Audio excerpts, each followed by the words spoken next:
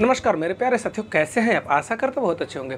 जैसा कि आप सभी को पता था कि यूपी पुलिस में अच्छे तरह पे धांधली हुई है। और आप लोग चाह भी रहे थे कि पेपर कहीं ना कहीं कैंसिल हो जाए। तो दोस्तों, बहुत ही बड़ी खुशखबरी की बात है कि अभी हाल ही में तुरंत मतलब मुश्किल से पंद्रह बीस मिनट हुआ होगा, न्यूज़ निकल के आई है कि यूपी पुलिस कांस्टेबल का जो पेपर था वो रद्द हो गया। अब हम बात करेंगे कि क्या पेपर दोनों पालियों का रद्द हुआ या फिर एक पाली का रद्द हुआ, एग्ज़ाम कब होगा, आगे की हमारी प्लान क्या होगी, रणनीति क्या होगी। क्योंकि आप सभी को पता है कि मैंने इसके पहले आपको बहुत सारे स्ट्रैटेजी बताती है। आप यूपी स्पेशल का मेरा वीडियो देखेंगे। तो सत्रह तारीख की फ़र्स्ट शिफ्ट में छः में से पाँच क्वेश्चन उसमें से आए थे।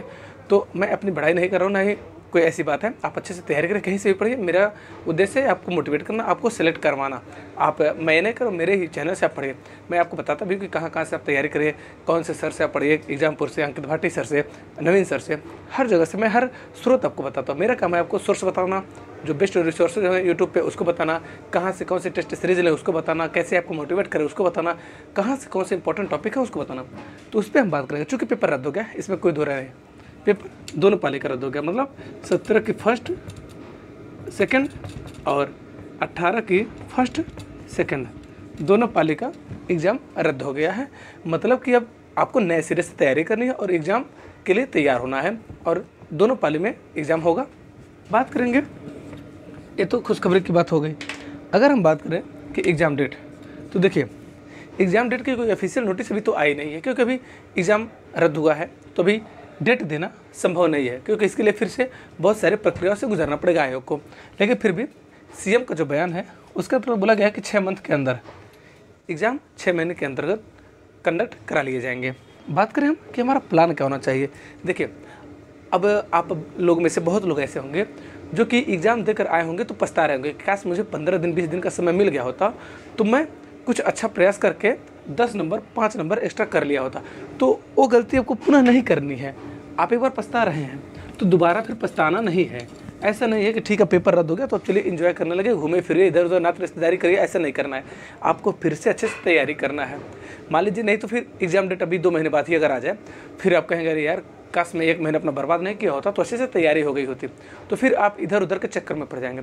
आपको क्या करना है? सबसे पहले तो आज से ही, आपको ये मान के चलना, आपको कुछ नहीं था ज़ीरो से फिर स्टार्ट करना है। स्टार्ट करने के लिए, आप पहले देखिए हिंदी, ठीक है? क्योंकि आप इस साल का हिंदी का पेपर दिए होंगे तो आप में से लगभग लगभग सारे लड़के या फिर लड़कियाँ तीस प्लस के करीब तो पहुँच ही गए होंगे। या फिर तीस प्लस नहीं कर सकते तो भी पच्चीस प्लस तो आप सब पहुँच गए हैं। तो आपको तीस प्लस जाना है। तो तीस प्लस जाने के लिए क्या करना है? सबसे पहले आप हिंदी पे फोकस करिए। हिंदी को अपना बेस बनाइए। उसके बाद आपको मेहनत करना है रीजनिंग पे। ठीक है? रीजनिंग पे। क्योंकि रीजनिंग भी अभी आप में से ज़्यादातर लोग चालीस प्लस कर लिए होंगे।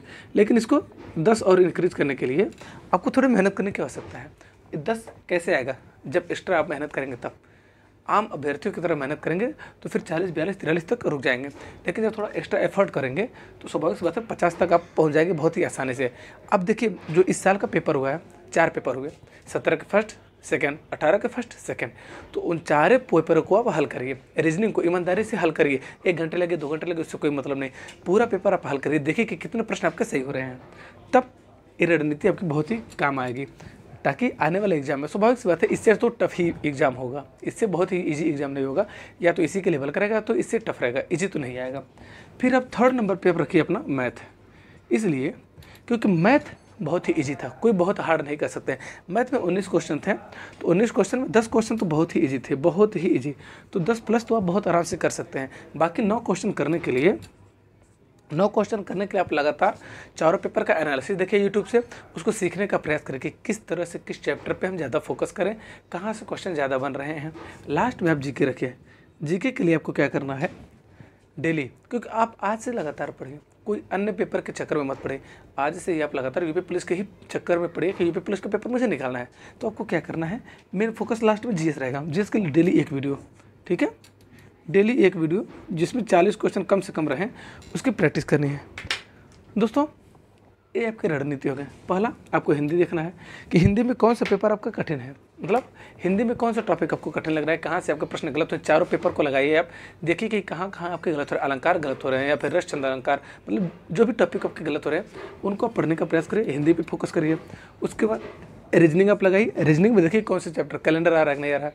जो अगर घड़ी का सवाल आया तो घड़ी आपसे लग रहा है कि नहीं रहा कथन निष्कर्ष का सवाल लग रहा है कि नहीं सिटिंग अरेंजमेंट आपसे हो पा रहा है कि नहीं तो उस पर आप फोकस करिए, ठीक है? उसके बाद मैथ। मैथ आप लगाने का प्रयास करिए।